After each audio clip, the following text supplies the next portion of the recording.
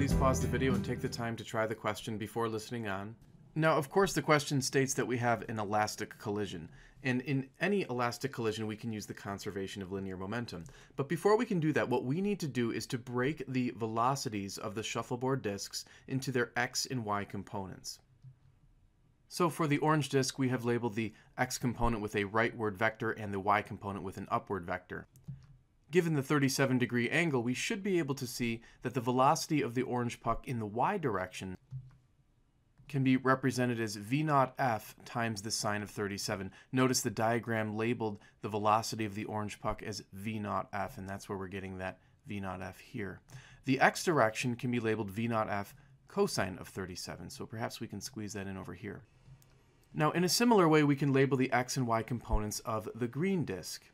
Notice the question labeled the final velocity of the green disk as v sub gf. So the x component of the final velocity of the green disk is going to be v sub gf cosine of 53, and the y component will be v sub gf sine of 53.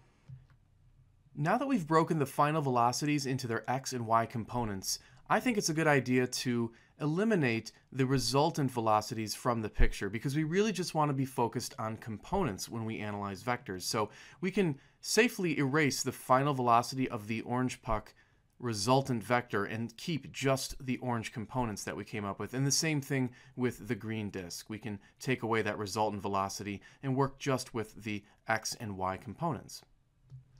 We can now finally apply the conservation of linear momentum. We'll do so in the y direction first. We can begin by simply writing that the final momentum in the y direction will equal the initial momentum in the y direction, but then we can fill in some more elaborate expressions for those momenta.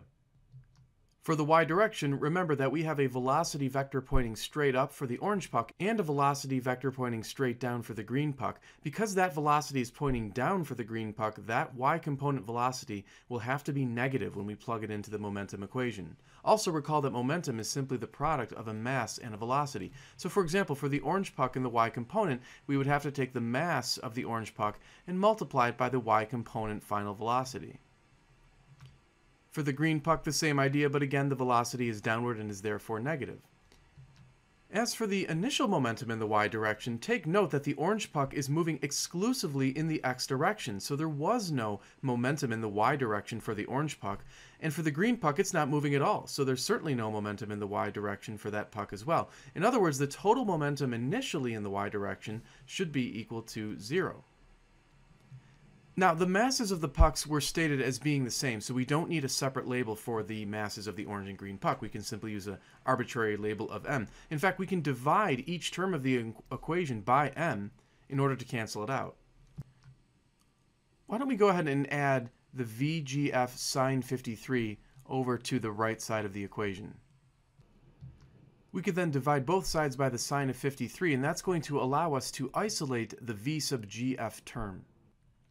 And if you plug the sine of 37 divided by the sine of 53 on your calculator, you should get a result that is approximately equal to 0.754. So we can write V naught F times 0.754, and that's going to equal the V sub GF term. Now, we're going to just hang on to this result and use it in our next equation. And of course, that next equation will be conserving momentum, but this time in the x direction. For the final momentum in the x direction, we'll take note that the orange disk was moving in the rightward direction and therefore has positive momentum. The green disk is also moving in the rightward direction and has positive momentum. So we can fill in those momenta in the x direction, keeping both positive. For the initial momentum, we will notice that the orange disk is moving exactly along the x-axis, so it certainly has momentum in the x direction, and it will be positive. The green disk is stationary, so it will not have any momentum, so we only have to include one momentum term on the right side of this equation.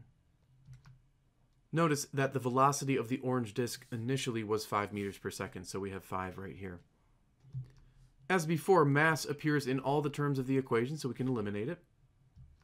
Now, what's nice about this equation, although it contains two unknowns, VOF and VGF, we recall that we came up with an expression earlier for VGF, so we can actually make a substitution whereby we take this term and plug it in right there for the VGF. Now, you can pick up your calculator and multiply 0.754 by cosine of 53. and you should get 0.454. So we can actually rewrite this block of terms here as just 0.454 VOF. The cosine of 37 is approximately 0.799, so we can rewrite this term as 0.799 VOF. And then, of course, we can add these like terms. And we get approximately 1.25 VOF is equal to 5. And then, nicely, we can divide both sides by 1.25 to solve for VOF.